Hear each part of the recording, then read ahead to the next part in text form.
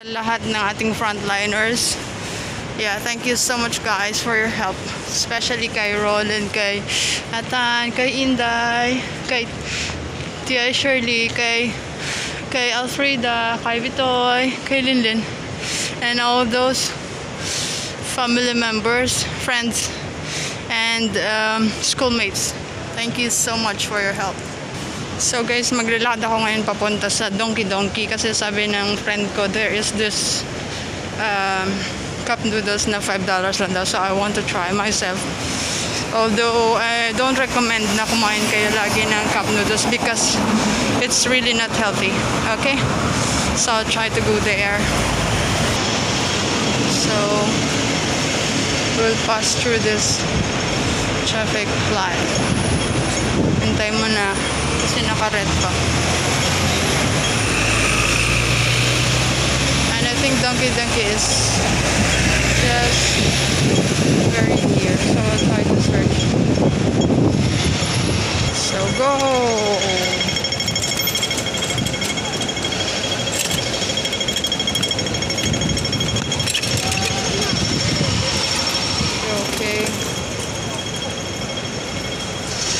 she's not Chinese, she's uh, Korean kasi you can identify through their eyes the difference of being singkit and all that stuff.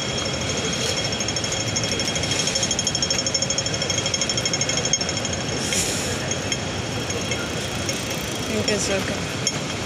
So, Assalamualaikum sa lahat ng mga Hong Kong viewers, I mean Muslim viewers. There's a mosque here, a masjid here in near the MTR station. Exit A to be specific, A1 yata if I'm not I'm not that sure. Yeah.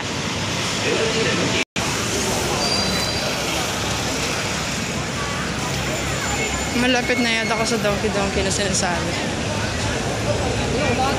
There's a lot. Not that much. Pero madaming tao. So we'll see kung asan si Donkey Donkey.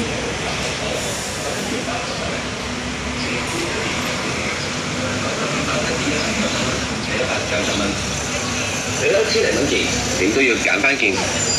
个品仲可以折上至优惠，嗰三件系九折，嗰四件系八折，嗰五件系八折。 要需要再加上就越高。 If you need peace, ready for war.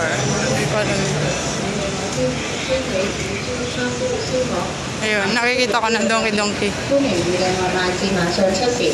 Parang malapit na malapit na ako. 各位好，早上开始除咗有靓茶饮之外，唔止仲有欢迎茶餐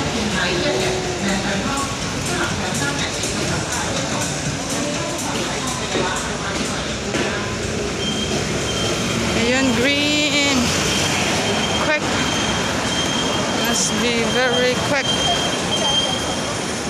So, malapit siya sa Granville Road.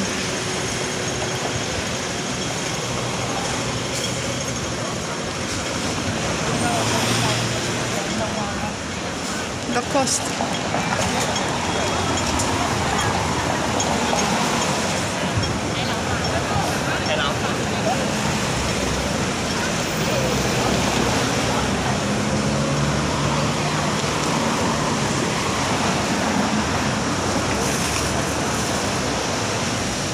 So, pause po muna.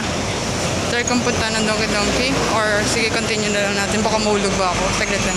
So, nandito na ako ngayon. Babay muna. Baka, baka bawal ko muna video. Bye-bye!